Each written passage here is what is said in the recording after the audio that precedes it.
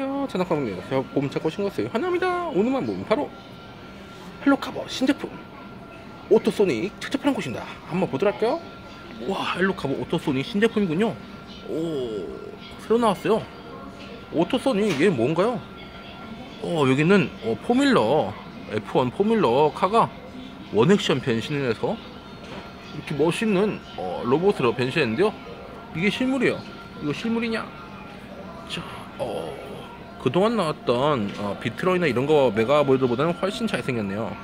네, 약간 용자 같은 모습도 나오면서 one action이라서 조금 걱정됩니다. 여기 오토 소닉, 오토 소닉은요 역시 어, 이렇게 자동차 모드도 그렇고 로봇 모드도 예전보다 훨씬 멋있어졌네요. 요새 나온 신제품보다는요. 자, 오토 소닉, 어, 똑같은 그림 쓰는 거는 요새 유행인가요? 다 그러네.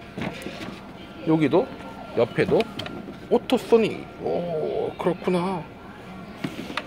밑에도 오토소닉. 스마트폰으로 즐기는 헬로카봇의 실로, 어, 새로운 세계. 어, 이렇게 게임을 다운받을 수 있고 오락실도 다운받을 수 있다고 하네요. 모두 무료라네요. 어 뒤에 나와요. 바람처럼 트랙을 달리는 무한질주 내 인생을 건다. F1 머신으로 강력한 속도를 낸다. 에, 최고 속도 마1.0 미친.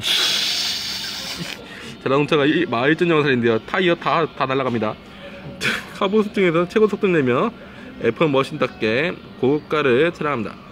아 말은 없는 게 로켓을 닮은 있긴 있다고 들, 들은 것 같아요. 죄송해요.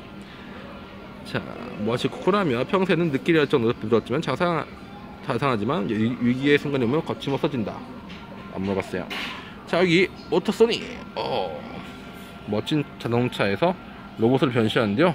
어, 2017년도 8월에 나온 완전 신제품이네요.